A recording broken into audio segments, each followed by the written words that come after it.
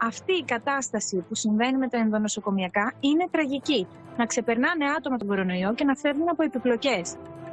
Μέσα σε μια εβδομάδα είχε έντονες διάρειες, Μπήκαμε στο νοσοκομείο εδώ στην Αθήνα και σε τρεις μέρες έφυγε. Η Γεωργία έχασε τον πατέρα της 66 ετών όταν κόλλησε ενδονοσοκομιακή λίμωξη στο έντερο. Η χώρα μας ε, μπήκε σε έναν πόλεμο με την πανδημία. Τα κρεβάτια ήταν πολύ κοντά.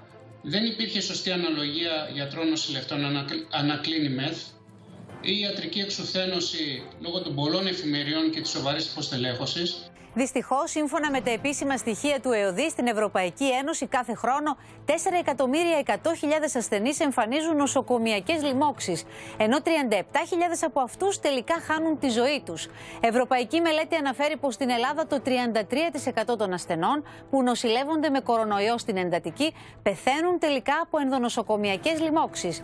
Πάντως, ο θανατηφόρος Μίκητας έχει ήδη φτάσει σε ευαγγελισμό, λαϊκό και σωτηρία. Στην Ελλάδα το 33% των ασθενών που νοσηλεύονται με κορονοϊό στην εντατική πεθαίνουν τελικά από ενδονοσοκομιακές λοιμώξεις. Στην Ελλάδα το 33% των ασθενών που νοσηλεύονται με κορονοϊό στην εντατική πεθαίνουν τελικά από ενδονοσοκομιακές λοιμώξεις.